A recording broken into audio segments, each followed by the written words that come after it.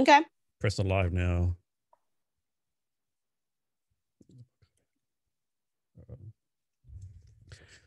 Hello, and welcome to Jason Cavness Experience. I'm your host, Jason Cavness. Here at Cavness HR, we're doing a crowdfunding campaign. It'd be great if you could donate and share our, our campaign at https cavnesshr.co slash crowdfunding. Our guest today is Rita Parker. Rita, are you ready to be great today? I yes, I'm ready. Um, I think so. Rita Anthony Parker is a licensed real estate salesperson with EXP Reality Realty New York. She is also the founder of the Gen- Genesis Home that specializes in networking, business support, and development. She just launched the Genesis Home podcast to further support for the community, businesses, and real estate by talking to local talent and specialists in their industry. So, Rita, thanks for being here today. Thank you for having me. This is really cool, actually. I really do. This is like a big deal to me. Trust me. So, Rita, you're in New York City, right? Correct. Um, and so those who don't know, like, and I didn't know this a couple years ago, New York City is not only New York City, but it's like, like some people know it's like Manhattan, Brooklyn, Queens, but even that's broken down neighborhoods, right? Like you got like Harlem, like um, Sunset So- Boulevard, all these different things, right?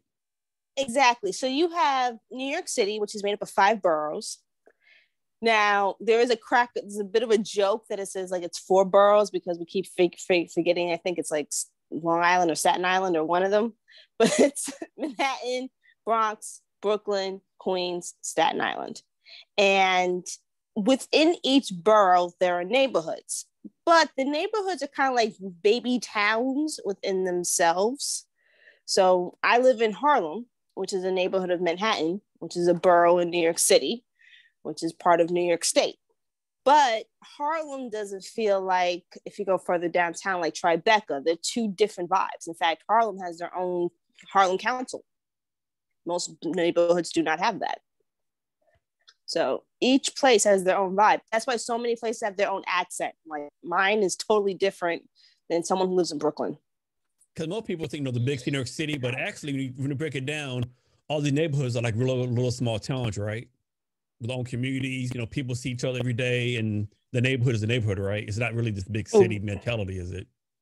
no it's not that's that's the that's the interesting part behind new york city new york city is not designed for just one thing. It's designed for a level of diversity but also creating your own thing at the same time. So that's why you have you know let's just take manhattan because it's easier and everyone can find it. Harlem is different from washington heights. And if anyone knows about you know lin miranda the guy who created hamilton he's from Washington Heights, which is above Harlem, but you can feel the difference between Washington Heights, Harlem, uh, like I said, Tribeca, Chelsea. Each neighborhood has their own vibe, which is why most places don't really call them neighborhoods. Sometimes they'll call them towns. Okay. They have like a town-ish vibe to it. And give us a sense how big NYC actually is. Like, suppose someone is going to travel from Coney Island in southern Brooklyn up to where you're at. How long would that take to uh, drive or be on the train? If you're driving, it's going to take you about 45 minutes. By train, it's going to take you about two hours and 15 Okay. from where I'm at to Coney Island. All right. And, and you're born and raised there? Yes, I was born in the Bronx, which is a borough above Manhattan, and I was raised in Manhattan. My mom is from upstate New York, which is a whole different land unto itself. So in New York City was one of the, one of the epicenters of COVID, right? How is it? How is it there right now? Mm-hmm. Is it like? Is it like? Is the news accurate? of What's going on there, or is it completely different? the, so the interesting thing is you have what is the general news of New York State. Each part of the state is different. So New York City, we're not fully up and running. There are pockets that are better than others. But compared to last year, I would say there's an improvement. Um, upstate New York is actually ahead than we are because there's less people up there and there's more space and obviously. But in general i will say the state is doing well. The city's going to take some time in forms of recovery. But the beautiful thing about new york city itself is that we're a global city. So we're so you have you know London. You have there's always money coming into the city. So there's always opportunities for New York City to thrive and survive this. So that's the beautiful thing. The only thing I can see that would be an issue for a lot of people, and they're talking about that now, is the numbers. I mean, there's roughly 8.5 million people that live in New York City alone. So last year we had the last year was like the real hit, the real epicenter of the pandemic. So you have 8.5 million people in a state that altogether is like 13.5 million people. That is a lot for someone who lives in the south and they're moving up to the north. So they i think people are just trying to figure things out but new york's a lot more resilient than the news kind of portrays us. And that's just my opinion from that and from what i've seen so of course new york city has all this tourist stuff to do like times square statue of liberty on and on broadway well, what is something someone to go visit that maybe not be like maybe tourist here, like something that only New Yorkers know about? If I had to pick something, yeah, I would definitely try the Bronx. Arthur Avenue has an amazing row of, Ita- of Italian restaurants and bakeries. That is not a common place most people visit, which is sad in my opinion. Another good place This, I don't know if people are that morbid or that historically curious. but in Brooklyn, there is a cemetery. And during like the 1800s to the early 1900s, it used to be a dating spot. And they still have some of those chairs, and you can still do picnics there. that's definitely different. So these, that's it's different. Um, another good spot which most people don't think of, is Columbia University.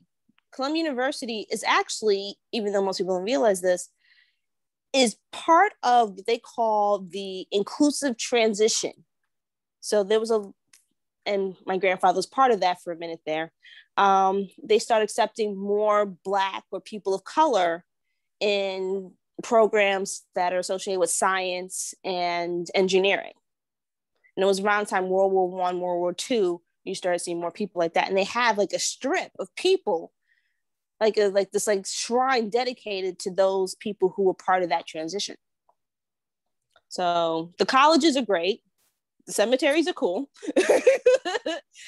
Take a look at the Bronx. That's crazy. But these are things, no, and we have trails. We actually do have hiking trails in New York City.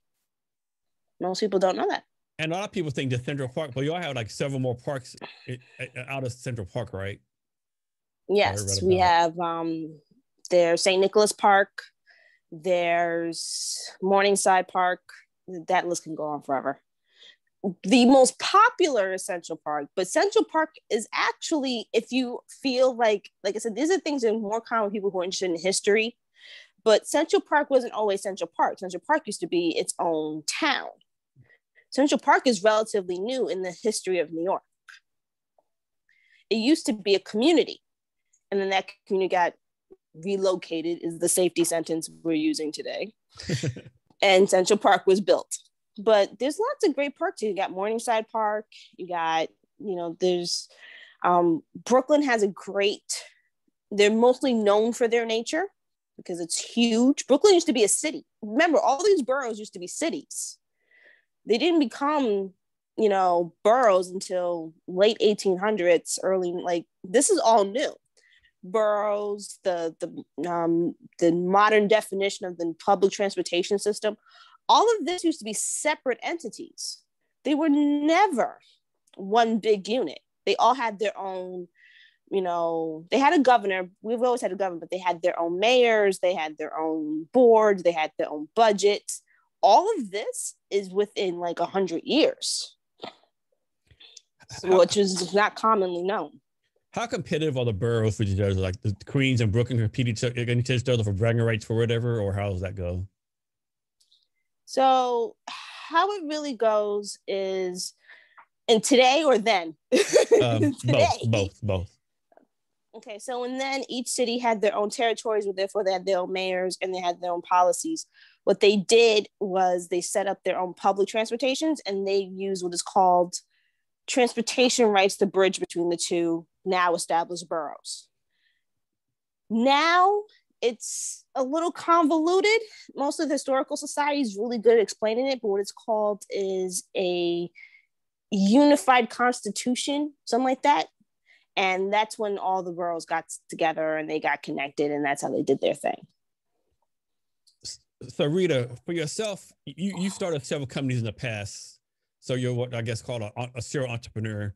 What got got you started on being an entrepreneur? What started you on that path versus like working a regular nine to five? Why why the entrepreneurship journey for you? So it really wasn't a linear thing. It actually started when I was a child. My my mom's a single parent. I mean, I have a nice network of family, but I was mostly raised by my mom, and she kind of raised me to be more of a partner in crime. So she taught me how to manage a house. she taught me how to budget. She taught me the importance of, you know, how to manage a home, but also how to manage like outside interest.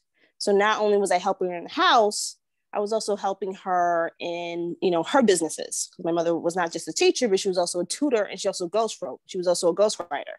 And I would help her with that. And then when I got older, I started acquiring more responsibilities. So it really started the home. And then I stopped for a while and did the let me go into retail and see how I feel about that and working for the man.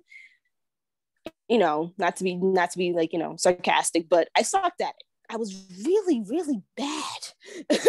Even though I was a manager at a lot of these places, I sucked at it, partly because I didn't have a voice. And I learned that as an entrepreneur, you you one create your own platform and you create your own foundation but you learn to be an advocate at the same time. Because you got to have to fight for your brand.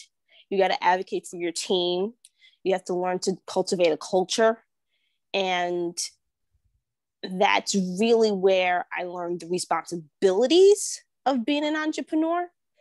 I learned the logistics from my mom but the but the embrace of that environment stemmed from the fact i no longer wanted to work for somebody.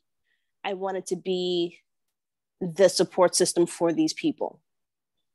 That's really how the story went. Like I said, I'm I'm pretty boring. no. So what what what makes you such a good entrepreneur? Is it just a drive within you? Is like your ideas? Like what what makes you so good at what you do? I don't make it about me. I think that's what what makes it why I love what I do. It's not about me at all whatsoever. It's about you. It's about my client. It's about the teams that I work with. It's about you know the anything I create, I create for someone. So therefore what I what makes me love what I do or continue it as a career is knowing that it has nothing to do with me. I just contribute to someone else's thing.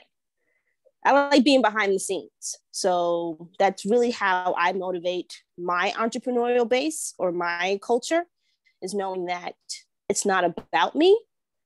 It's about the community that I cultivate or the products that I serve to help these people. So that's for me. From your point of view, what's what's what are some pros and cons of being an entrepreneur? From my perspective, I think one is being public. I have to be the face of the business, which is not fun for me naturally. I kind of like my little private life. Um, another con would possibly be the idea of a brand. I'm not a, I was, I have a lot of old school mentality in my head that I don't believe in the idea of the brand. I believe in the idea of the culture because I was raised that whatever you do, you're building a legacy. And what would that legacy be like when you're not around? And I don't mean not around, I'm not trying to be morbid, but like if I'm on a cruise or something, what would that be like? So the that's the pro, but the con is the brand thing, the image part. If I can do everything in my sweats and relax, I would. Um, but there's a lot of pros to it. I get to meet some amazing people. I l- learn so much about myself.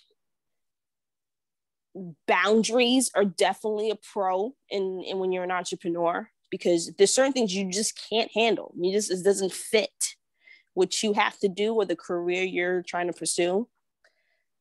I get to be, and this is a pro in my my opinion. I get to be of service. Part of in my in my view of being an entrepreneur is that you're of service of this industry or this, you know, mission or this question you're trying to address. You know, that how do you in my case, if you're new to real estate or new to business, what are these resources that you should have at your disposal that you don't have automatically? That's where Genesis comes in. It helps businesses slowly, but it helps businesses feel warm, confident knowing they have a team and they have a support system. I feel comfortable knowing that this product or service will have that support system and feel confident to grow.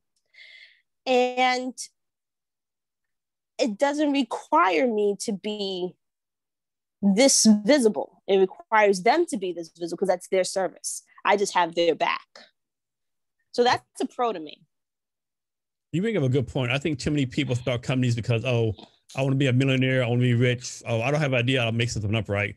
Now I realize that you don't have that passion, you know, people don't realize how long this journey takes, right? If you don't have that passion for it, you're going to quickly quit and, and go by the wayside. So you got to be. And it's emotional. Something. Yeah. Oh yeah. De- very definitely. It is. There's days where you're wondering why did I do this, but then you look at. That's why it's so important that you have like the little victories in between this. Like today, um, we had um, a client of mine that I when I first started in real estate was having a problem getting an apartment. Now he's telling me he's looking at a house and he needs help with that. That's because those little steps that he took might have not gotten him an apartment in New York, but would probably get him a house in Pennsylvania.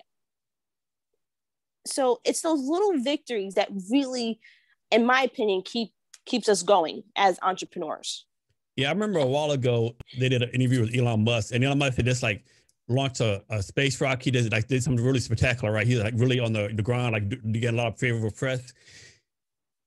And and the guy asked, "Well, how you doing, Elon Musk?" He said, "I'll be honest with you, my life sucks right now. It's not going to be me, right?" But as everyone's like, "How's it suck to be you? You're the greatest guy ever." But as entrepreneur, you immediately knew, okay, you know what he's going through, right? Something's right not right with Elon because entrepreneur journey, right? You, as an entrepreneur, like you see all this like front end stuff, I call it, you know, doing podcasts, doing branding, doing this and that. But the regular people don't see the back end light. They don't see all the, the stuff that sucks, so to speak, right? I just think that that's an interesting point. Yeah, and they don't see this, and that thing is they don't see the sacrifice to get to where Elon Musk is at right now. Required him to make certain decisions that we probably don't have to face yet. So for him, he may not be okay. You know, like I said, this is an emotional thing, which is why I try to make it my mission that if I ask anyone, no matter if it's the pandemic or not, are you okay? Because if you're not okay my mom said the outside and inside need to match. If you're not okay nothing that you do will match that. So he's right you know just because you have all of this doesn't mean that you're you, the way you feel with your about yourself internally matches all this beautiful things yeah, no, I think I'm start use. I'm gonna steal that from. I'm start asking people: Is your does your inside match your outside right now? that's, a, that's, a, good one right there. A lot of times, that's the best way to explain outside. It. A lot of times, people's inside don't match their outside. A lot of times they don't, and you could see that a lot, especially on social media. And you and I both are on social media, and you see it all the time. People with these pretty cars and these fast homes and all this other pretty. You know what I mean? Reverse that: fast cars, pretty houses, whatever, and they're depressed or they're you know in reality they don't have any of that stuff. You know is all of it's just you know a smoke screen but if you are comfortable with yourself knowing you know that this journey is going to be complicated at best it makes the downtimes of those little valleys you know a little more manageable. And i think for elon or for anyone because they did a, a a few weeks ago there was an oprah interview with harry and meghan and they said and meghan said that she was struggling struggling with her mental health and people going how is she struggling with her mental health? She lives in this house. She has this husband. She has this baby. She says you're looking at the external. Don't do that. It's there's there's sacrifices going on behind the scenes to get these external things. There's a lot of there's a process for everything. And part of that is your mental health. So he's right. And i think as entrepreneurs we don't have those conversations enough that it does take a toll on us emotionally. It does sometimes you do need to step back and chill. Rita, so and you're you're an actual real estate agent also, correct? Correct. So how does one become a real estate agent? You just like wake up one day, I'm Jason Cavness, we start selling homes, you know, like do an ad, like you, you, you, you, like you have to do like some type of school or degree. Like how does that even work, right? So here's the beautiful thing. I'm licensed. You have to get a license or a certification, depending on the state. But the general rule is license, certification, meet these certain requirements, and you have what is called an affiliate license, which basically means that you are connected to a brokerage. In my case, it's EXP Realty. It's cloud based, which means I don't have to be at an office. I can do it anywhere around the world. As long as I'm licensed in New, well, licensed by New York State, I can be in Canada and still sell New York real estate. So that's a beautiful thing. And my shameless plug for EXP. but it's really a, it's depending on the state it's usually the process of certain number of hours for classes and training certification state exam brokerage. Now this is where things get weird and i've had this conversation multiple times. If you've been in real estate to a certain period for a certain amount of time and depending on the state you're with you can actually move up you can be a broker. A broker is someone who can essentially hang their own shingle and start their own team. Um, well, not start their own team, but start their own team is one part. But they can also create their own brokerage. That is a little more education, a little more time, depending on the state. It can also be a financial aspect to it but that's essentially how it works. It's just training. It's just like i'm not gonna say just like but it's similar to getting your cosmetology license. You know you have to go to school for that. You have to get some training. You have um, apprenticeships and then you go take your exams. You know, once you get your license, you have to like keep update with different like trainings and stuff and certifications, or once you're real estate license, you it. no, it is a continuing education process. You are always in school this is what I tell anyone who's interested in any specialty. It could be HR, it can be cosmetology, it can be real estate, it can be a plumber.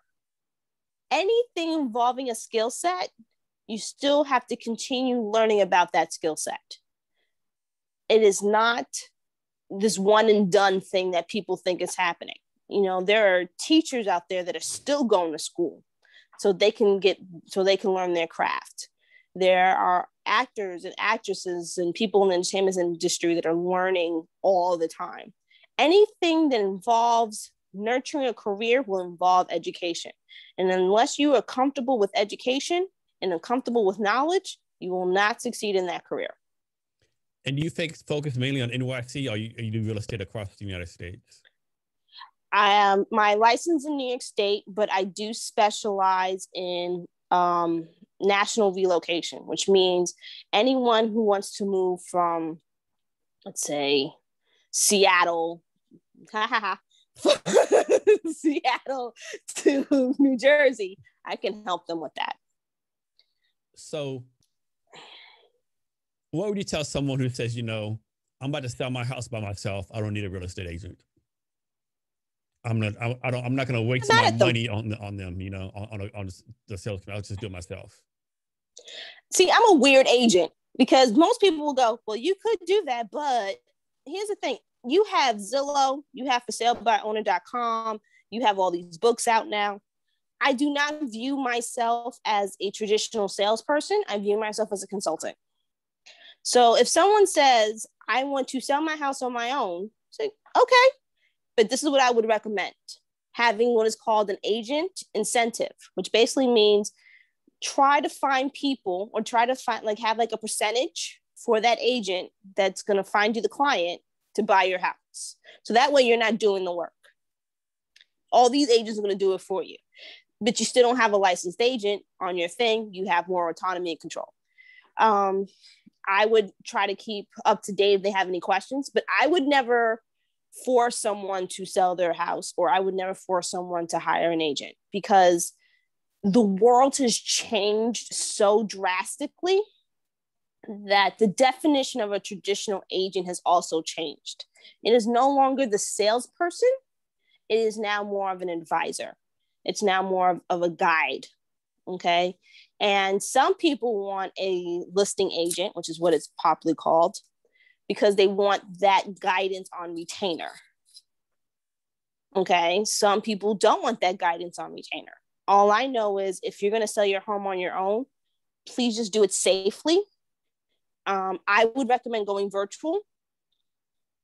Do not market anything that has sellable items in it. So if there's if people select a big screen TV or jewelry, remove it before you take the photos.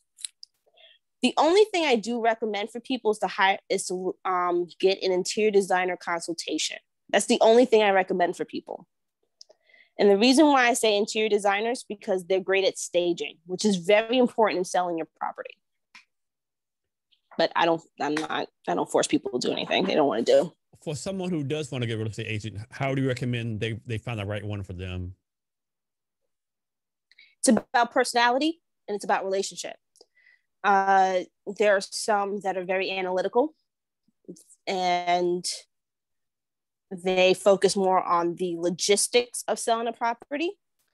Some are very great storytellers. You know, I've seen that. And I think enough people watch Bravo have seen that too. you know, May or any HGTV type things have seen that as well.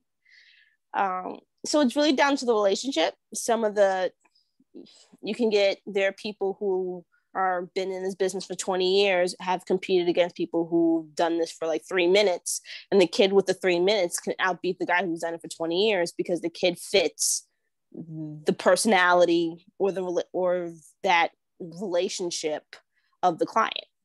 The clients think in emotions. Agents respect that and know how to act accordingly. So suppose someone has a real estate agent. When should someone change real estate agent? Like should be like like okay, you haven't sold my house in six weeks or six months, or you get offers way lower than I think you begin. Like when should a person move on to another real estate agent, or or do you once you pick one, you want to stick with them until the house sells? No, you can switch agents. Um, there are popular options with that. You can allow the agent to recommend another agent within that brokerage. You can make it in what is called a a change in agency, which basically makes it an open listing, so anyone can sell it within that brokerage or within that state. Or you know, you can um, if you don't want to do any of that, just say, you know what, I don't think this is working. Da, da, da. Now, here's the thing that most people do not understand. If you have a problem selling your house, it could be one or two reasons. Okay, people say it's three, but it's usually commonly two. One, you overpriced your house. If you live in a market that is on average three 250 per home in your neighborhood and you're charging 500k, that's a little much. Or it can be another extreme where you're you priced it too low. Once again, still at 250 and you priced it at 96,000. What's wrong with the house? Yeah. okay. And you're saying it's perfect. If it's perfect, why is it 96? So that's usually the common thing. The other thing could also be agents, um, you know, seller standards and things like that can be a little much. You know, some people who, and this is, if you want a real, real, real funny story, I got one for you that would just like go, what? Started In real estate, I had my first listing, and I will never forget this listing as long as I live. the it was a duplex out in Queens.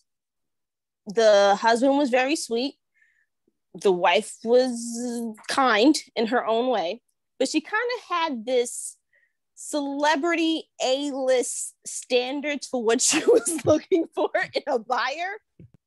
She was like, "Well, this building, you need you need someone who has certain kinds of class." I'm like, you do realize this is a story. Uh, this is like most of these people have like kids and they're like soccer moms and not like, you know, these are not like you're living on like Madison Avenue. It's just, yeah. But, and uh, nothing went too artsy. Like she had like this, like literally, she had like a list of people or list of standards that she had for people that would buy her duplex. I'm going, I had explained to her by law, I can't discriminate. So if Tom Cruise's assistant, who's a Scientologist Catholic, decides to look at the place and buys it, I have to present you that offer. Even though you may not like the fact that she's a Scientologist Catholic of Tom Cruise, it's it's by law. I have to present that to you. Yes. She goes, Is that how that works? Said, yeah, that's how that works. so what ended up happening, we ended up selling it, but what we did was what we call a short sale. And what that what that entails is she found we found someone that would buy it off of her to cover something she wanted covered attached to which was in her case was a mortgage. So instead of putting it on the market in a traditional way we got like her cousin to buy her out. So it ended up turning out well but the whole process of her, and she had like five pages worth of standards of the type of buyer she wanted for that place. And I couldn't even qualify. Like, I didn't even meet it because I would have been considered too ghetto because I'm from, because I was born in the Bronx and I was raised in Harlem. So for her, Harlem and the Bronx were a little bit rough around the edges and I am the epitome of rough around the edges. So it just it wouldn't have fit. But she loved me. So what we did was we did the short sale. So her cousin bought her out, and we got her a smaller place um, in upstate New York. But once again, it's that relationship. But there's been some crazy like if if agents could talk and had like their own Def Comedy Jam type tour, it would be hilarious. So Rita, is there advantage or disadvantage of buying like brand new construction versus an older home, or does that does that matter? It does. Um, when it's an older home, it's a lot more maintenance, but you have the longevity. For newer construction, you don't know the story yet. It's new, so everything's new, but it's new. So the management probably is still trying to figure out the kinks. You still have, you know, you know, they're still updating those requirements. They probably went too low in the maintenance fees or in the seller fees. You know, there's a thing now in New York where, and I'm learning about it right now, where there some of the properties are going digital currency, like Bitcoin and everything. And some people love it, some people hate it because Bitcoin, it depends on how many, how much money is put into it for those values to go up, for that value to go up in newer properties that's more popular and older properties is not. But some properties are not happy with the bitcoin system because bitcoin can, can fluctuate. So there's pros and cons to everything. Now if i had to pick a model i would go older partly for the resale value and partly because there's a character to it that newer developments do not have yet what, what are some of the challenges of, of the New York City real estate market? Because it's like its own our own market, right? With own own entry fees and different things going on. New York is one of the most expensive real estate markets in the world. New York City, I'm not gonna say state. New York City is one of the most expensive real estate markets in the world. I mean, you. I mean, you can. I mean, you can find like a thousand square foot apartment for like two thousand a month, right, or something crazy like that, right? If you're lucky, that's nice. That's a good dream. it is really expensive, but it is worth it if you're coming to New York for the right intentions.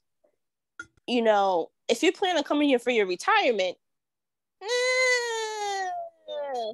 But if you're coming here to, you know, get on your grind and start something or start a career and you need New York resources to get there, have fun. You know, that's really what this is. Now, what makes New York so expensive? People say it's the taxes. It's really not the taxes that makes New York expensive. It's the image. Now, we have Broadway, we have Harlem, we have, remember, we mentioned all these neighborhoods.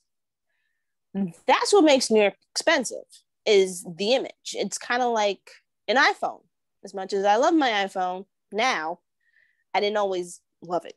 Basically, what you're buying is the the ambiance of New York.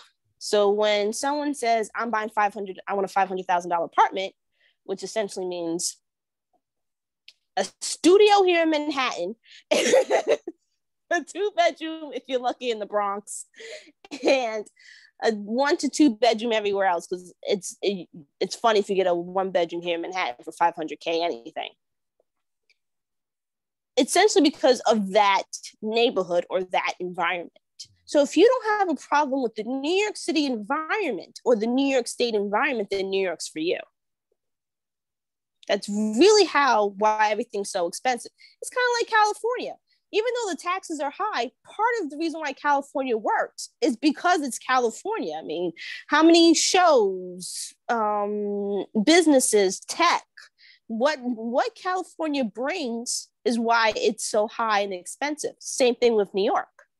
We have the arts. We have, you know, even if you don't live in the city, you live in upstate, you have amazing you know, land and water, and you're so close to Canada that you can actually get some really good food. You know, there's so many things that come with this. Plus, New York is part of what's called the tri state area, which is New York, New Jersey, and Connecticut. So you're near so much. So it's the accessibility that people like when it comes to New York. And people are willing to pay top prices for that accessibility. And speaking of food, uh, I, I'll probably make this number up, but I remember reading somewhere that you could actually eat like 10,000 different places, different restaurants, and not eat the same place like twice, right? There's so many restaurants in New York City. You could actually like, like something like crazy number, like three, four, five, 10,000 nights in a row. And this is foodie heaven. This is foodie heaven. You can go there. You can, if you love donuts, there's like thousand different donut shops. That's not counting like what people bake in their homes to sell. you know there's food trucks there's different cultures. You could actually eat your way through new york and not visit the same place multiple times. Yeah. So rita let's talk about your genesis home network. So from my point of view you're combining real estate which is probably the the anti-startup mentality with what they say like basically a startup right? So how you combine these two different things right? Real estate is like you know not really the most startup you thing you do in the world you know versus the genesis home network right? How you how are you making this work so this is going to be an interesting way to explain it. I try to eliminate excuses as much as I can. Real estate is a unique industry. It is not for the faint of heart. Okay. So you have, you know, so many people, you have so many standards, so much requirements, things like that. As an agent and as someone who have seen people buy businesses and commercial real estate, it's daunting.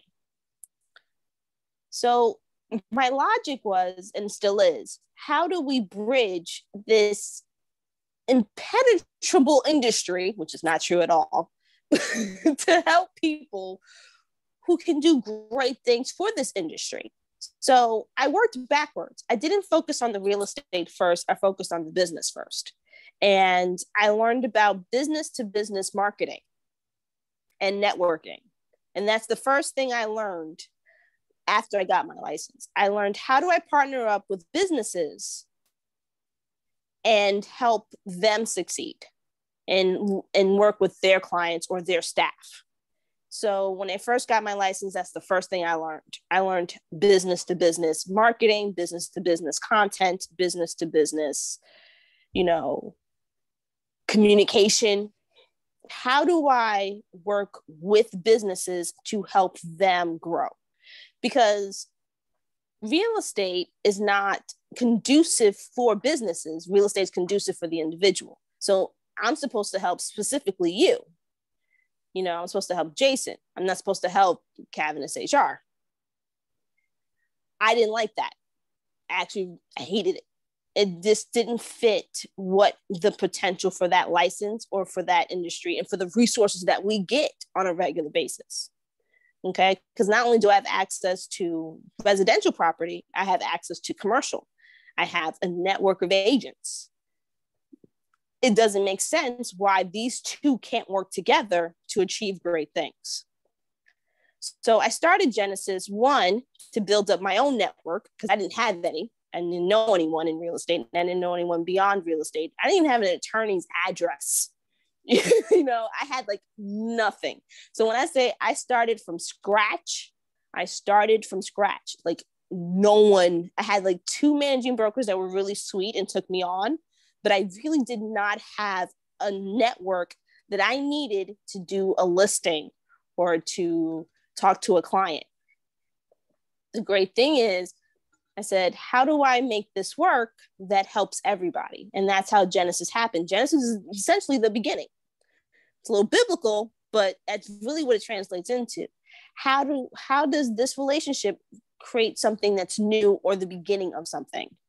So, like for example, when I met you, I literally started real estate like two days after I met you.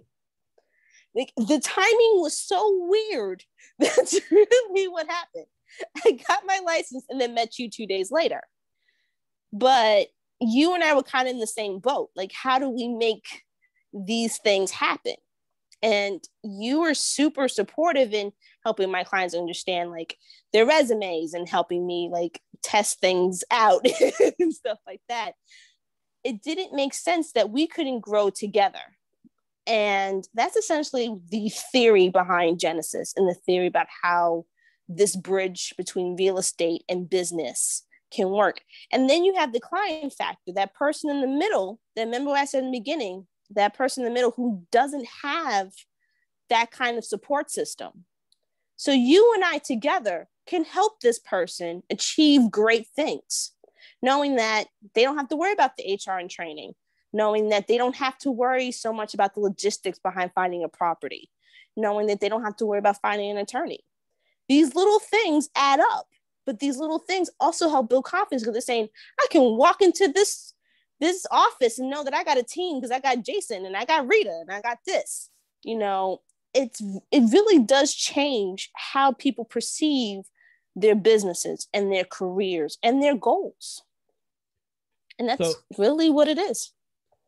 So who is your like do you have like a is there like a target customer for your platform? At first, it was other agents because we were all struggling at the same time.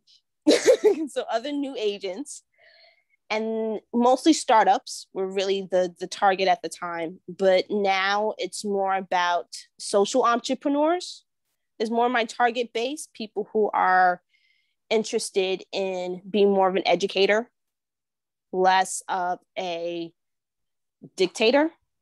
I've seen them. They scare me and I don't I don't see people succeeding in business if you're telling them what to do. Uh,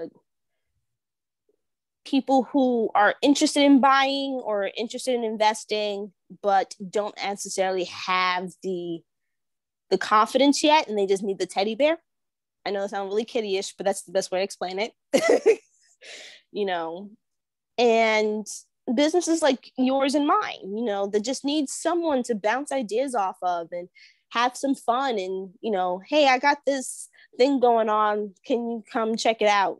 You know just really cultural supportive community based you know we're all in this together. And with the pandemic it really does highlight that it has to be a grassroots community effort for us to survive. And i think in my opinion Genesis reflects that, that it has to be, it's the people on the ground that shapes the community. It's the small businesses that shape the community. And it's also how we work together that makes those great things happen. I know it's a little naive, but that's really how I see it. So since you started the Genesis Home Pro Network, what are some things you've learned from from growing the network that you didn't know before? What I didn't know before was how competitive everyone not about the businesses but how people feel about each other. They think competition is a is a competition was really a big part of it. And i'm not saying competition with like genesis versus linkedin or anything like that. I mean competition in terms of how we view ourselves in this in this world and how we view ourselves in business like you're not my competition I don't view you as my competition. Even though we're both looking for clients, we're both looking for clients for two different reasons. I don't view the other agents as my competition. The only competition I have is me. So for the biggest thing I will say was mindset. That that I learned the hard way is how people view themselves and how they view their business. That was a big lesson. Another big lesson is I had to be I had to learn how to be more vocal. That scared me. I faced a lot of fears building Genesis. You know, I had to learn to be more vocal. I had to be, I had to find a way to network while maintaining my my long-term mission of support you know there was a lot of things that i had to to face.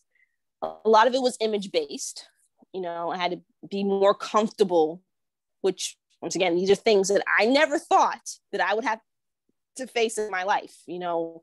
I always saw these people like with these ais and everything. I always thought i would be like you know a, a cartoon or something and the cartoon like victoria's secret would be the face of genesis. That's not what happened. So that was probably be the the most the comp- mental competition which really doesn't exist and facing my fears would probably be the hardest things that i had to deal with even now when it comes to growing and building genesis. So rita so we're both introverts. And, you know the stereotype is you know business owners entrepreneurs like extroverts you know they're like steve jobs out there doing stuff how have you like been able to, you know, to take advantage of being introvert or overcome being introvert and, and put yourself out there and, and be the brand that you are? The podcast helps out a lot. The podcast really allows me to ask the questions I've always wanted to ask, but were too shy to ask. That's one way.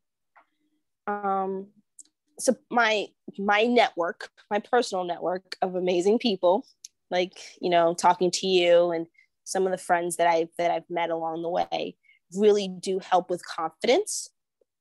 Um, writing you know, you know when people ask i have i keep like a little blog every so often and i'll write about what my opinions and things like that. That helps with my brand branding and um, building of my confidence. I am an introvert and I think people will be surprised. A lot of people are in, in as an entrepreneur. And I think that's what makes them great entrepreneurs, that they are introverts, that they can do more in the shadows. Sorry, the Batman parlance, but they can do more, you know, behind the scenes because they know that the minute they step out there, it has to make an impact. Um, another a beautiful example of that, and people will probably know her, is Rihanna. Rihanna is an introvert. She is she talks about it all the time. She hates doing interviews. She she hates going on stage. She hates the whole thing. But every time she goes on stage, every time she does an interview, she tells them she does a lot of prep work before that time. So I think for us as introverts, it makes what we do all the more important because we do so much work behind the scenes to make that impact. For Genesis to work, there's a lot of work that goes into it behind the scenes. For, you know, even um, I, I have my hoodie on, I have a Genesis hoodie on. Uh, there was a lot of prep work for this little simple hoodie. okay. So I think as introverts, it has a unique talent that, with all due respect, extroverts don't have. We know how to make that one moment last. We know how to make a service something that people will not forget because we took all this time to make that happen. So, if that answers your question in any way, that's how I view my introvert talents Rita, and what I do with it. What's your long term vision for the Genesis Network? So I had this question like a few years ago, and I kind of was a little marvel about it. I still am marvel about it. My goal, my long term goal, is to actually have a Genesis camp. Kind of like um, I'm a huge Marvel fan, so clearly I love Tony Stark. I love the Avengers, the whole thing since I was a kid. In the comics, Tony Stark actually has a compound for the Avengers and they do their training, they do their businesses and everything on that compound.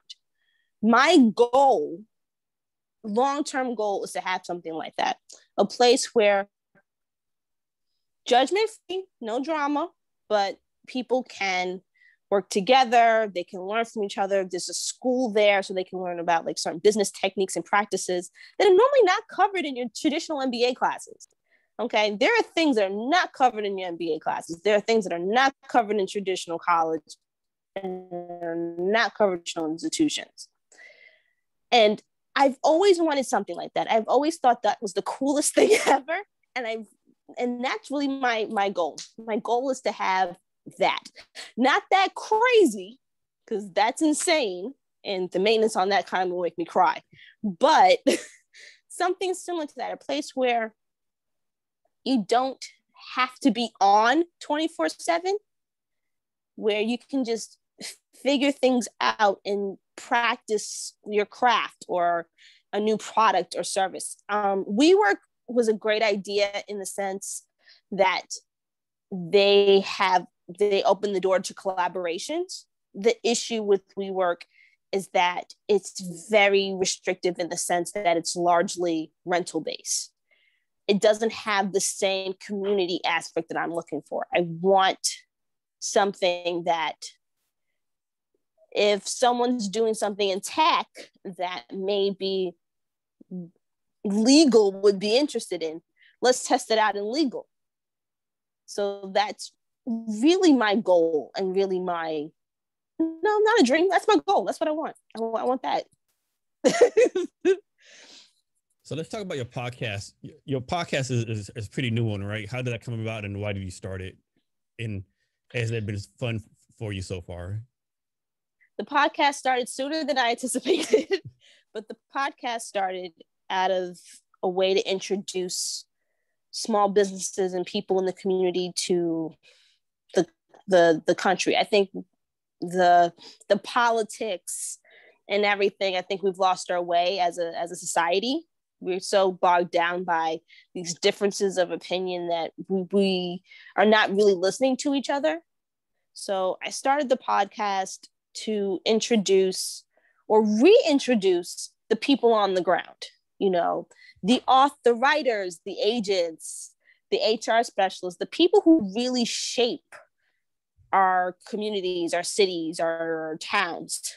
Okay. And and uh, there's other podcasts on there. You're on, you were on there. yes, yeah. Um, and that's essentially where it came from, and it's it's further stretches that point for Genesis about building a community, supporting businesses, you know, letting people know that these things exist and they're within your reach. Um, last week or a couple of weeks ago, I had a managing broker, a broker on record on there to cover the topic of what's called compliance because in when you're a real estate agent you have to make sure that your paperwork's legit and you're not you know being slimy or sketchy.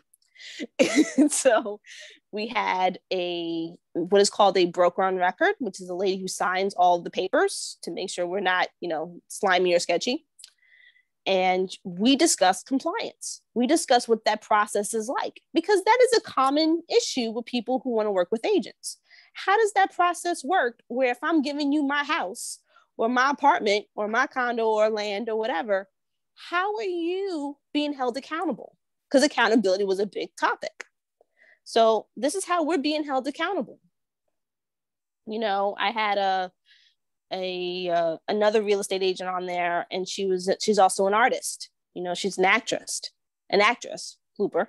she's an actress.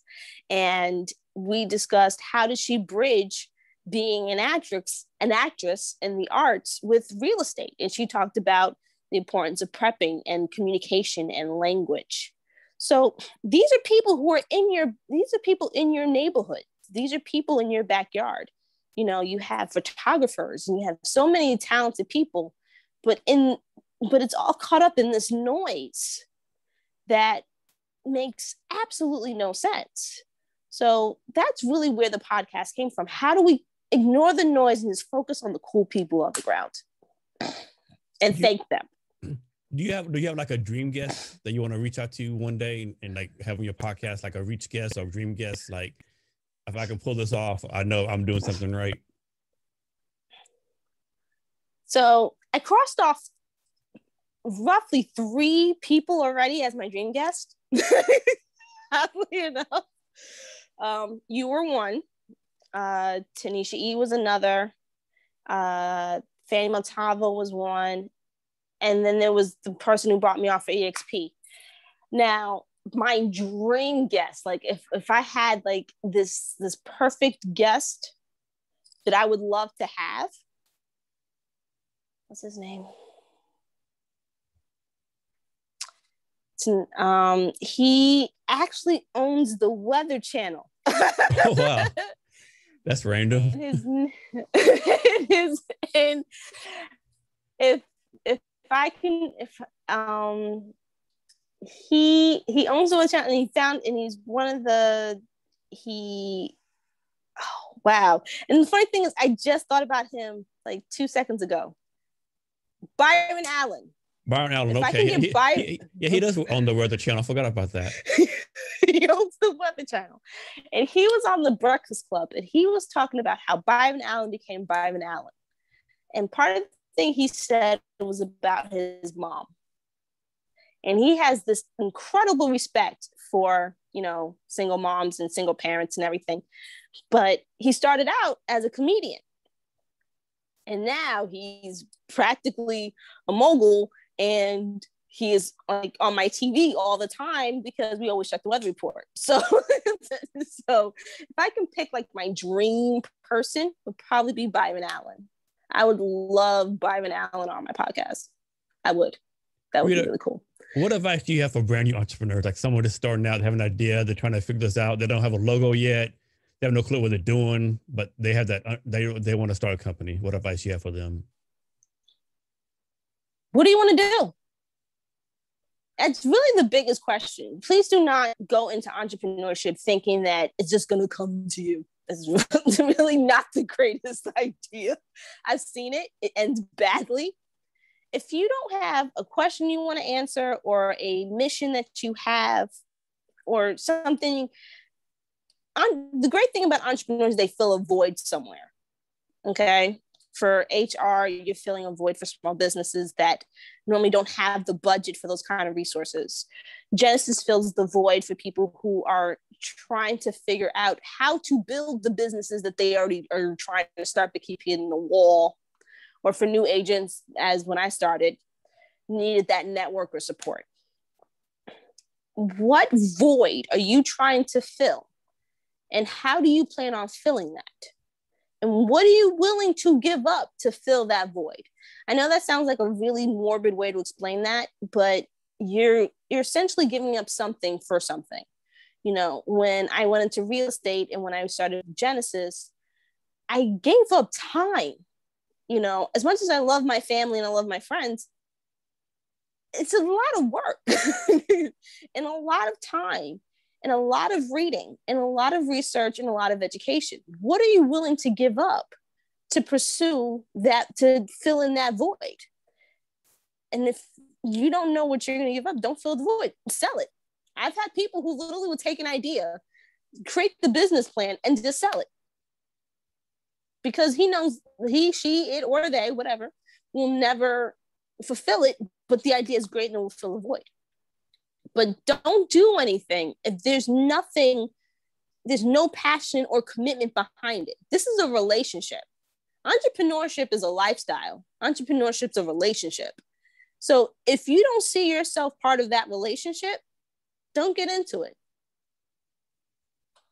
Rita, so that's my advice for people who are new.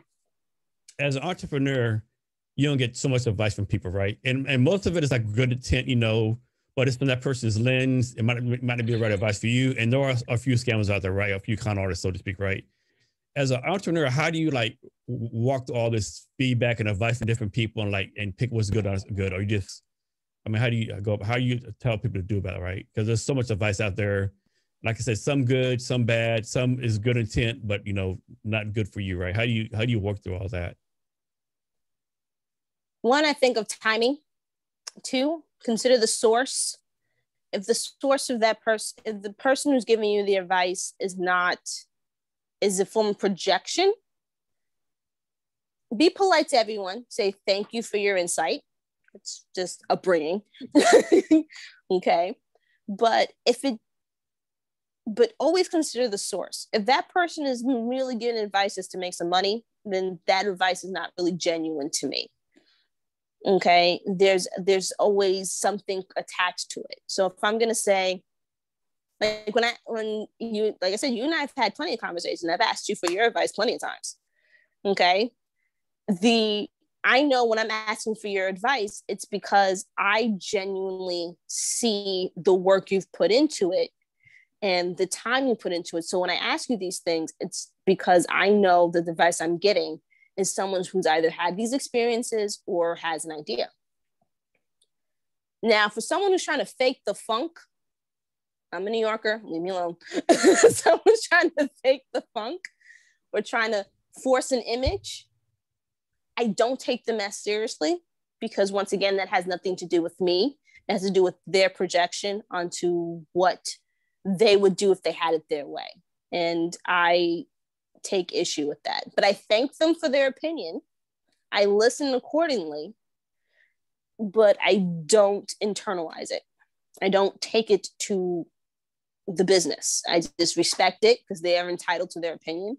Like I've had people tell me, Rita, just go for your broker's license just just go for it so that's great but i have like like so many things on my to-do list right now that broker's license is number like 23 it is not number one but i respect them for it because they see a potential there but for me right now at this stage of genesis in my career that broker's license is not on my list it is a very it's a lot of work and it requires a lot of time i still got to build up genesis I still got to help the people that I already have. I still got to finish my goals and what I need to do. And then maybe we can revisit that whole idea of reading in a broker's license. So it really is dependent on what you want. Now, if you want something really just be brutally honest, have rules. Seriously, have rules for yourself. I know it sounds really dumb and childish, but establish rules. I have Rita rules. And if it doesn't fit the Rita rules, I'm not going to do it. I don't know if that helps, but it helps a lot. So Rita, like as you know, entrepreneurs, a lot of entrepreneurs have lists, right? Like you know, we have like hundreds of things to do, right? And every day, like you, you might go to list, you get number ten, and then you see, oh man, number number fifteen is still on my list, right? I need to do number fifteen, but I can't because it's not in top, my top ten. How you deal with like having something on your uh, quote unquote list all the time is important, but not important enough for you to do. Like, how do you like how do you manage that? Like, without driving yourself crazy. Like, this is on my list. It's still on my list. I got to get off. Well, I want to, but I can't because it's not. It's still not priority enough. So, mm, I got really good advice, and I actually have applied it to my business. I only do three things a day. Just three. Okay. If it doesn't fit the three things, I'm not going to do it. So I actually have a content day and I just focus on content for all of it, all social media. I have a, you know, network day. So three things, just three things a day and then stop. I know in real estate, you're supposed to be on do these things all like there's a thing called um, prospecting. You're supposed to do that all the time. Here's the thing: there's different kinds of prospecting. There's different kinds of networking. There's different kinds of outreach. I don't like cold calling, so I'm not going to do that at all.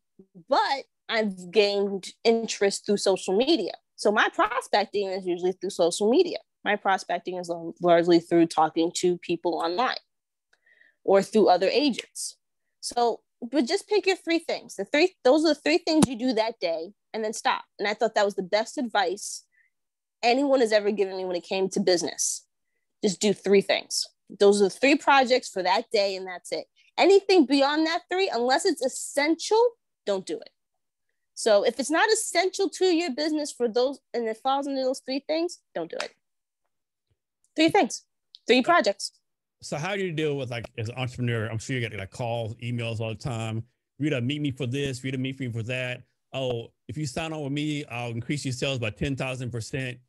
How do you deal with how do you deal with all this noise and how do you like like crush it and, and tell them everyone a lot people know because I think it's important to tell people no more than you say yes. How do you do that? And I agree. Um, I never. Okay, so you like I said, you and I are active on social media, and the one thing we do see a lot is those people who send us, you know, DMs on. If you follow Timothy, Timothy will help you get ten thousand followers. No offense to Timothy, that ain't gonna happen. So, once again, those are the points of the Rita rules. If my emails largely consist of education and clients, if there's anything involving a networking event, I tend to plan those months in advance because I need time to prep for those. Remember, I am an introvert. I can't do anything like on a whim. Um, which is a benefit because it teaches you about, you know, time management. But um, I do it months in advance. If it's something that is not important, you know, and you can measure what's important, what's not. If once again, those important are those rules. If it doesn't fit the Rita rules or the Genesis rules for Rita, I won't do it. Now, as for emails themselves, if I, it's just depending on what you're looking for. It depends on what your standards are and what your what your barrier is.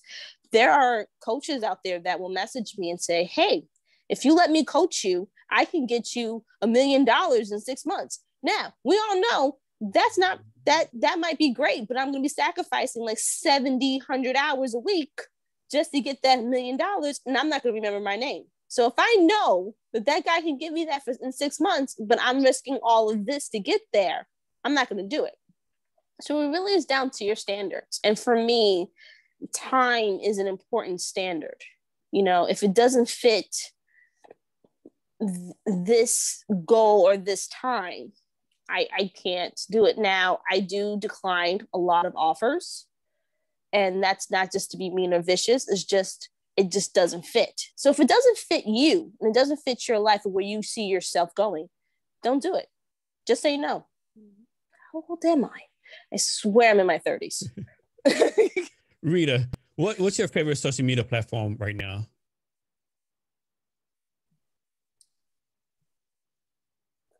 I do like Instagram and Twitter. TikTok, I play around with a lot. I'm trying to get the hang of it, but Instagram and Twitter are like my my my big buddies. Nice. Rita, so you know, you know, a lot of people say, no, you're entrepreneur, don't quit, keep on going, you know, keep grinding, you never give up. But should someone actually like give up from being an entrepreneur? Is there a time where you say, okay, I've had three businesses that have all failed. Nothing's going right. Like, so someone say, okay, this isn't for me, or should you just like keep grinding, so to speak? When's that stopping point? Or should so, there be a stopping point? Genesis and real estate are actually my combined is my fourth business. Okay. I have learned are they are they building a business or are they on a grind? Are they on a hustle? So there's a difference between a business and a hustle. So that's really the first thing they need to learn. So if they're doing this for a hustle, which is all they're talking about is making money, and they're not building a business, they're just hustling. A business has a foundation. A business has to be nurtured. A business has growth. A hustle does not. That's the difference between a business and a hustle.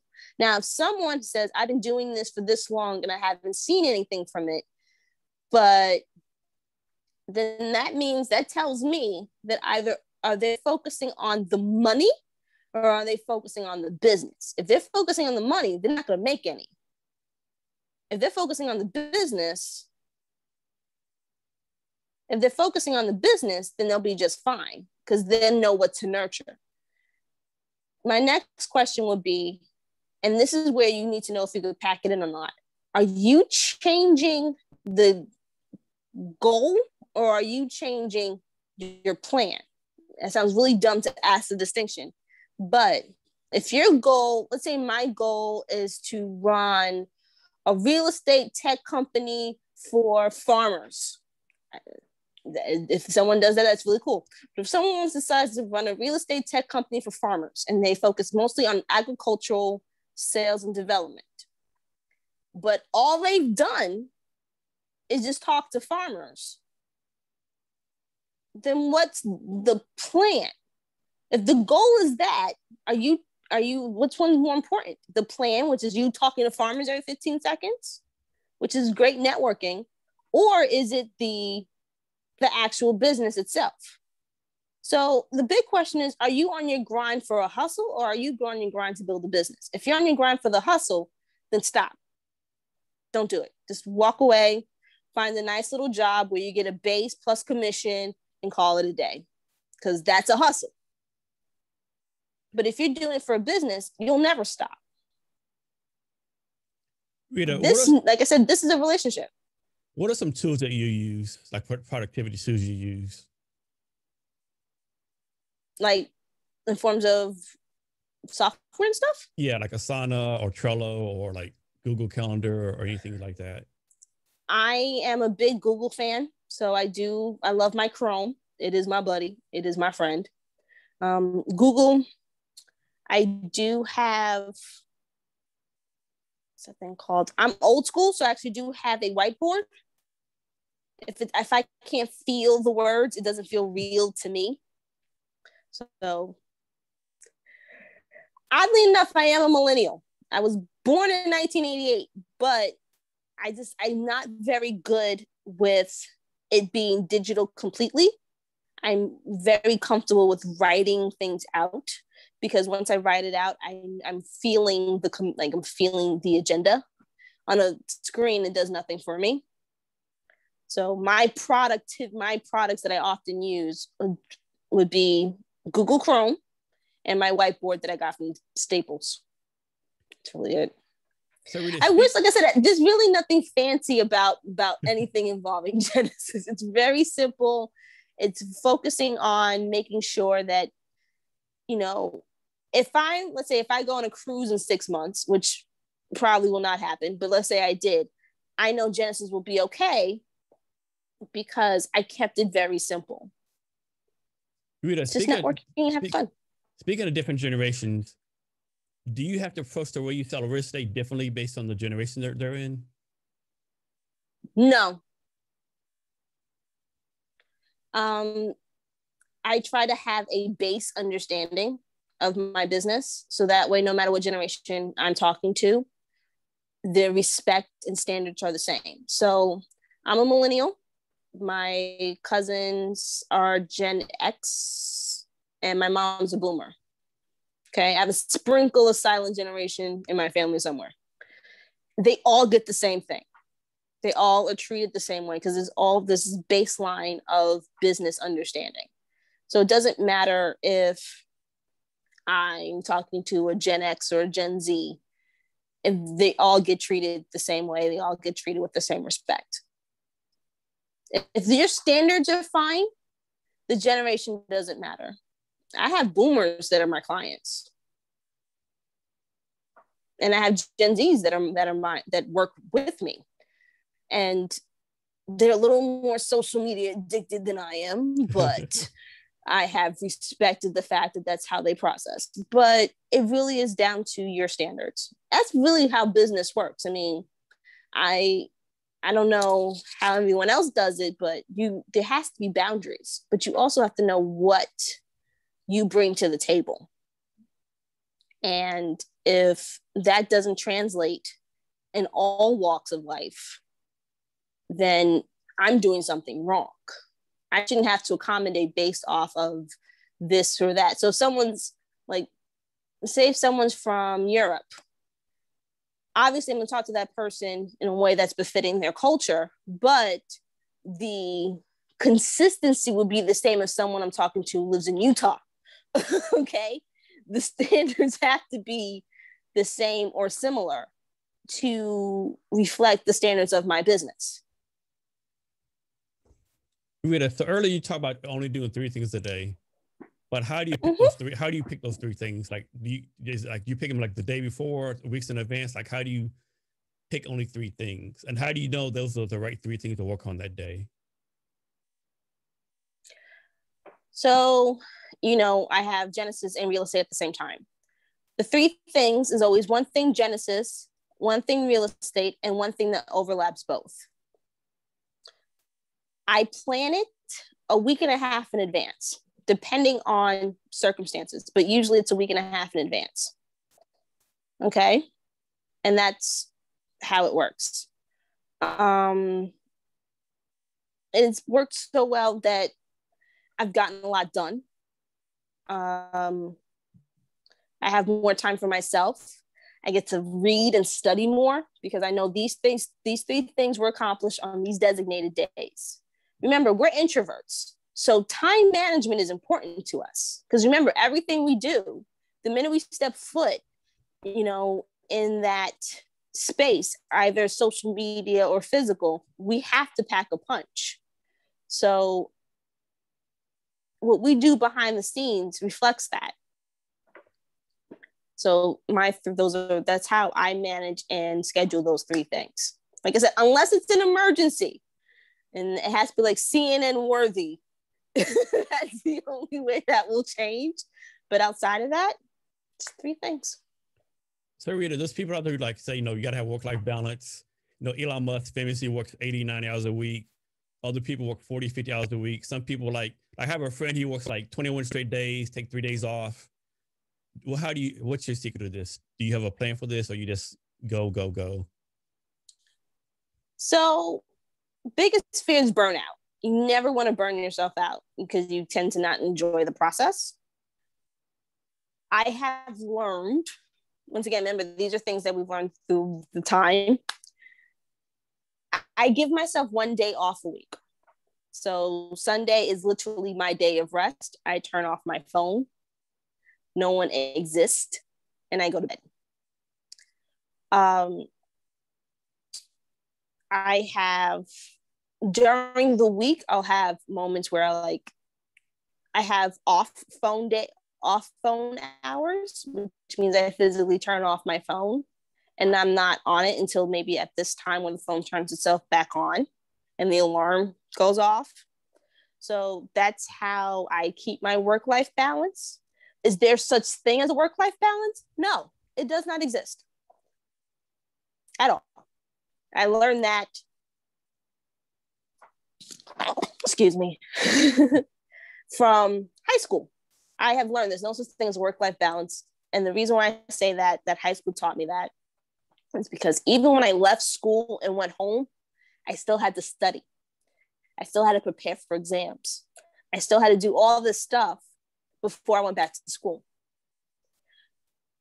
What I learned is how to manage where I get a break, but there's not a real balance. Yeah, it makes me ask so many people nowadays, they're like, that while they'll be like, you know, this is the chunk generality. They work a nine to five and do nothing else. They do nothing else extra work. And they're and asking how can they get no raise. I can't get raised at promotion. Well, what are you doing? I work a nine to five, I do my job. Well, what what are you doing that you know makes yourself look better than your competition in your job, right? And they don't and they don't get it right. You got to put some extra work in somewhere. I have a great, I have an amazing grandfather, and my grandfather did this, which is really cool. he works, he comes home, and he hasn't done anymore. He's like been retired for years. He works, he comes home, and he goes online and he, you know, looks at tech, you know, and he'll go to work the next day and he'll discuss what he saw in technology or what he studied.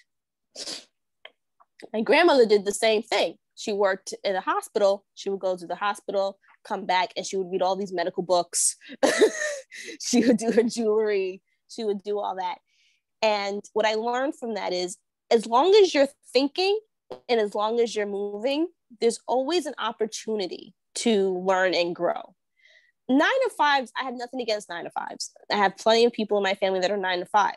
But what makes them unique and what distinguishes them between everyone else is the fact that they do after five o'clock.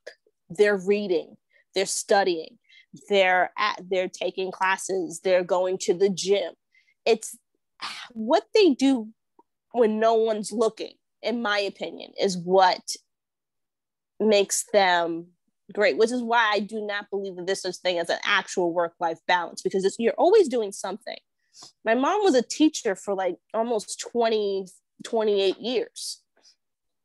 And when she wasn't at school she was reading she was studying she was you know doing lesson plans she was treating her kid as a guinea pig when she was practicing her lesson plans you know she was always doing sorry allergies she was always doing something to prepare for what's next you know like I said, when I got into entrepreneurship, it wasn't just one thing. It was watching my family, it was being part of that process. And they taught me the importance of learning, knowledge, education, but community and support. Yeah.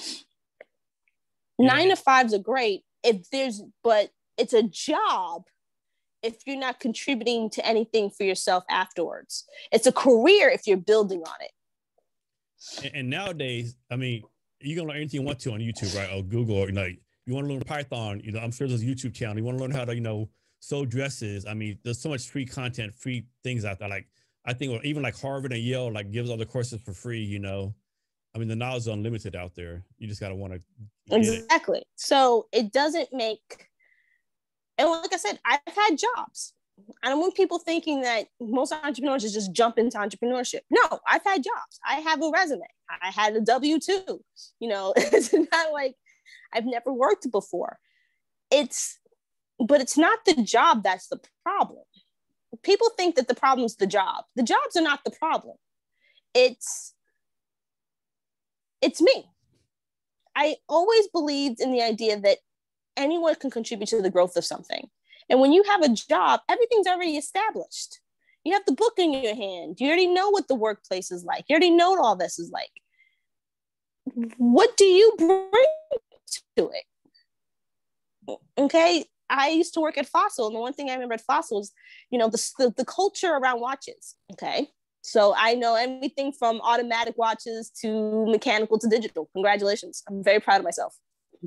I can I can change I can still change a battery but what am I contributing to, to Fossil to make Fossil great? And then I gotta wait for someone else to retire for me to do anything. And I'm stuck with another layer of, of work that I didn't contribute to.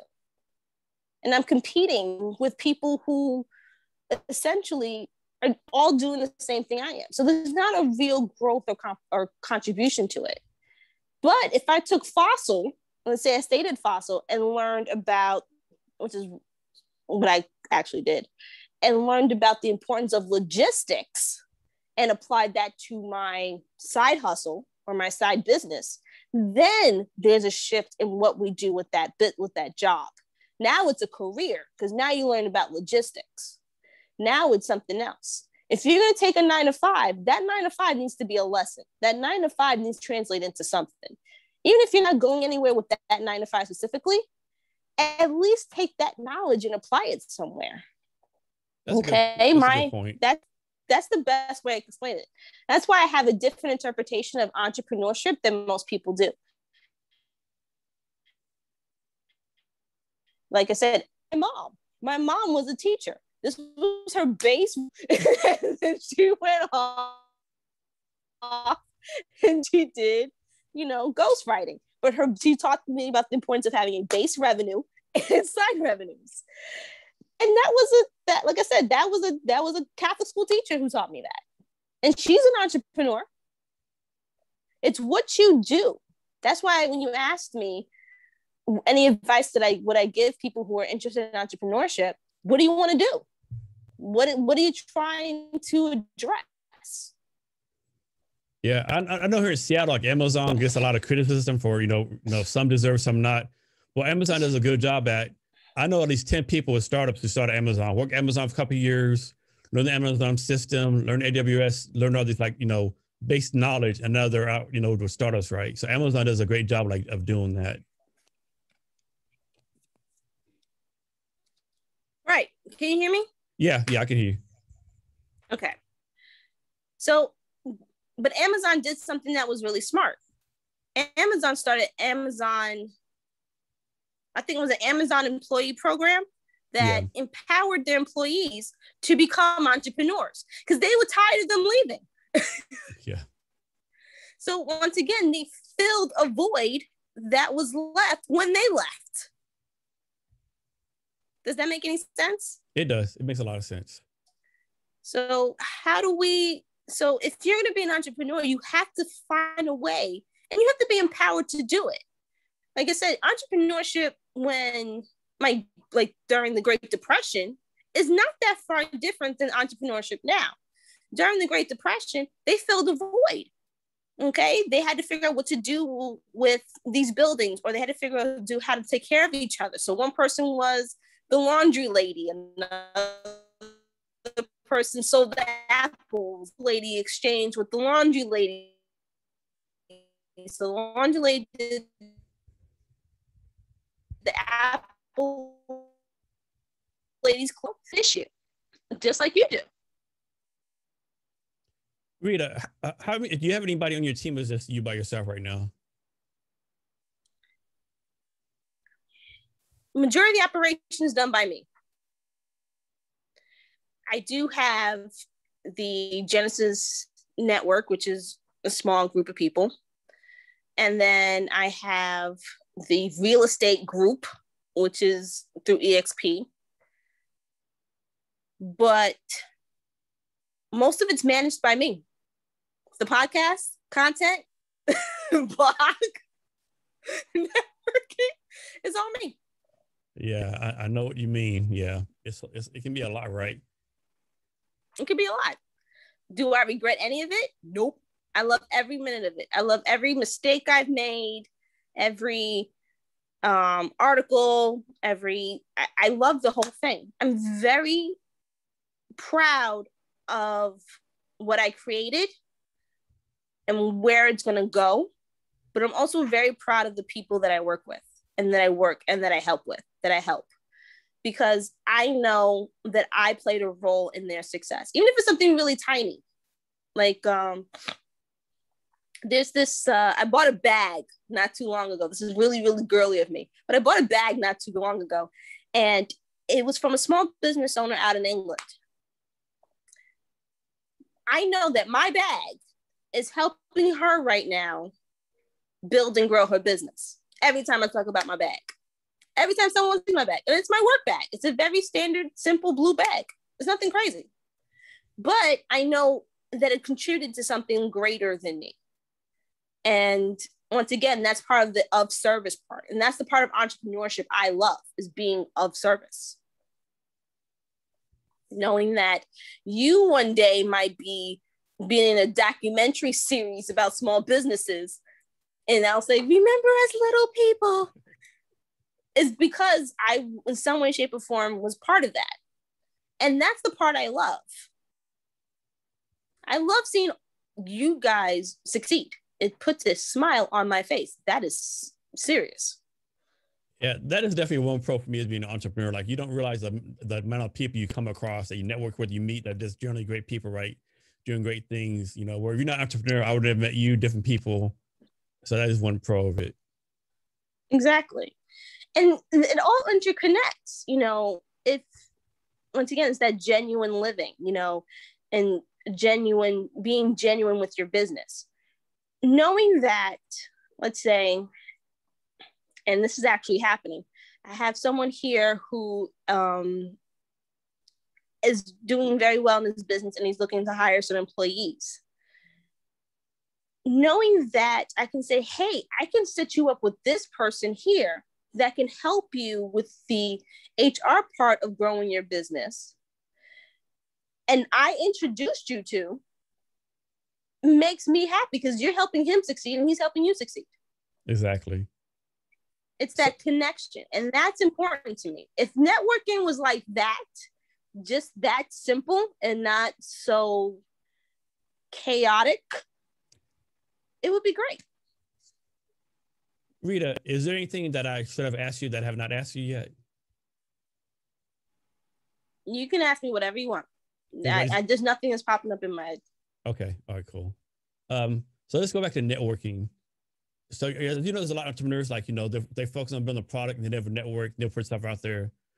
Talk about the points of networking as an entrepreneur of, of putting your idea out there and talking to multiple people. So the basic way of putting this is separate the difference between network uh, a. Do you remember? Okay, this is so long ago, but high school. High school taught you the difference between a friend and an acquaintance.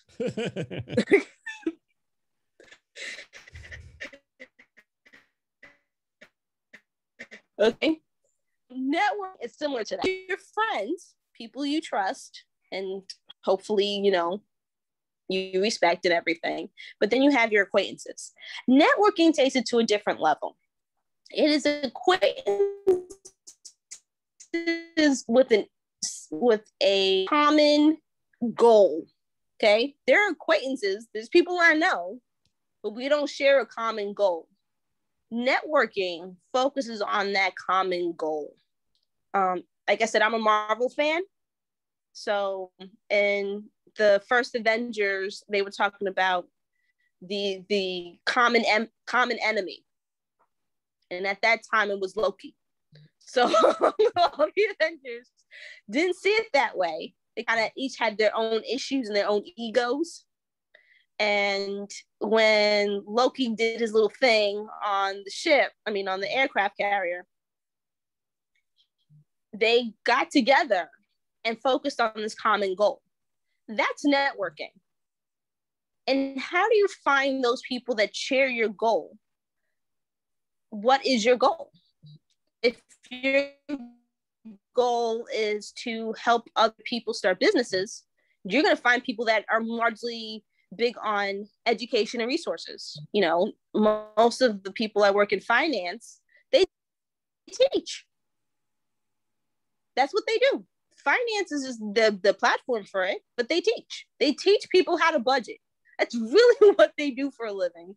And then once they've reached the point where they can handle a budget, then they introduce mortgages and loans. So that's really what networking is finding people that share a common goal or mission. All y'all join forces and make it happen. Okay. You find your Thor, your Captain America, your Iron Man, and you guys get together. And when things arise or when things happen, you you have that that network and that's really how networking works basically what it is.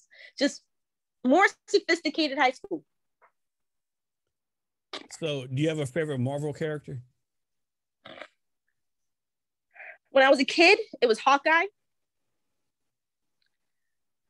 Um partly because hawkeye and hawkeye pierce from mash share the same name. And i thought they were both really cool. As an adult, it is the Scarlet Witch and Loki. Yeah, mine has always been Spider Man. He's always been number one for me, Spider Man. Well, it's nice to know you're a fan of New York. yeah, yeah, I grew up reading all, all, the comic books. Yeah, I remember like like being in the in the comic book store going from you know book to book, you know, trying to hide out as long as I could before I got caught reading for free. Yep, I remember those days too. Do you, you know it's so sad now because what they have now is the um, there's like very few old school comic book stores in New York that they had to be protected.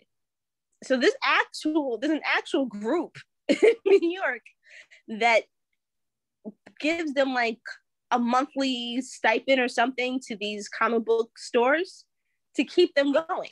Mm. Because they don't want them to close because you can't find them anymore. Most of them you order them online. Yeah. That's too bad. But I but I'm like I said, you learn about business not from school. You learn about business through experience.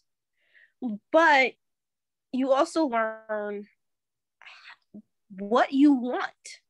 That's really the problem with when people are interested in becoming an entrepreneur. They they like the title, they like the image, they like they see all these people like Oprah and Tyler Perry, but they don't realize the work. I mean, Tyler Perry lived in his car yeah, they think six, they think six, they think six months later they'll be like a millionaire.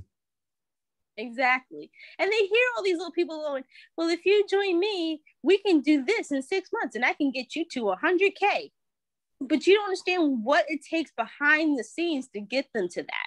You don't, it, that's really what people don't discuss. They don't discuss the work, they don't discuss the process, and the process is the fun part. That's just that's just how I see it. But networking is a sophisticated form of high school. Rita, can you share your social media for yourself and your company so people can reach out to you? Well, the Genesis home for all of it. Uh, Rita A. Parker for all of it. If you type in Rita Anthony Parker, I pop up. I had to put a middle name on there because there's plenty of Rita Parkers out there. so um, I used one of my middle names, and it's Rita Anthony Parker. And it's I'm on TikTok, Instagram, Facebook, Twitter, LinkedIn. What am I missing? Snapchat, yeah. which I should get more active with, but I haven't recently. Um, and oh, I'm on Clubhouse. I actually just signed up for Clubhouse, and I really do like it. So it's Rita, not half bad. I asked you before, what, what's your favorite platform? next question is, what platform, what social media platform are you have do you have the most fun on? Twitter. Twitter. And here's the thing if I can give anyone advice on social media, I'm not a social media expert. I do not pretend to be. Find your, people say find your niche. I hate the word niche. That's like, that, that word, it bugs me. But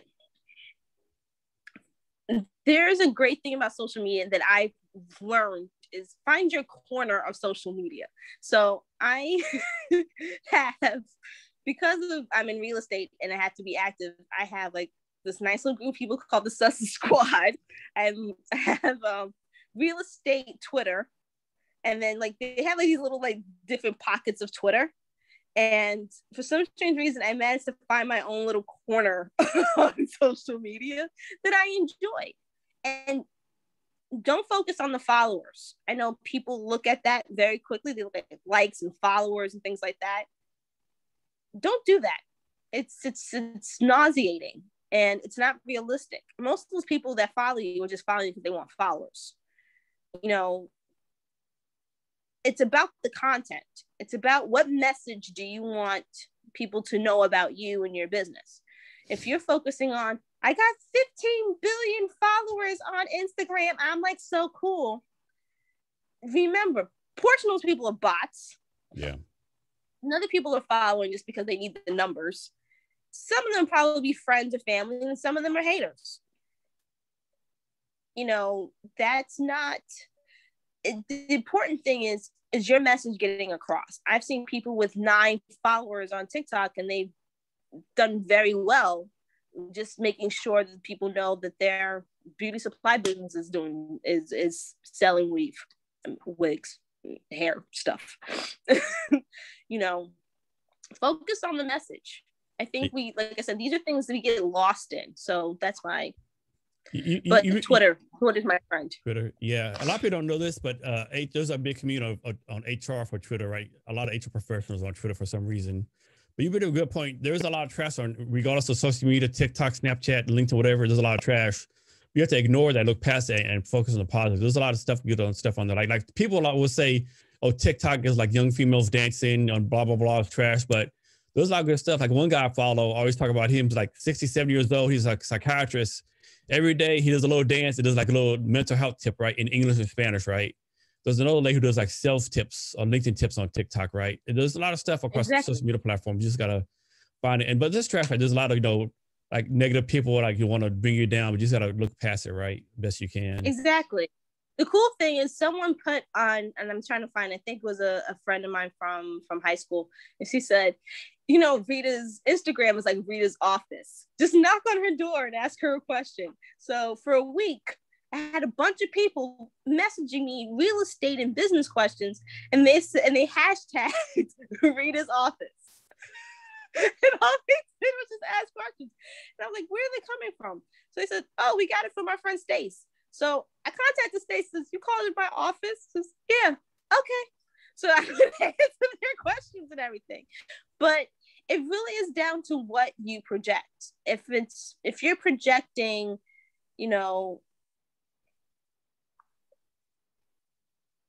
fakery, you're to get fake people. If you're just being yourself, be yourself. That's why I like those affirmations and I like, you know, my little tips on real estate because sometimes these are things that people don't know. You know, these are things that when people are having a bad day, they're probably gonna want to hear it. You know, the world is real, but my page doesn't have to be that crazy. That's something I don't people realize too when they first started social media. Like a lot of people start social media, they do like content.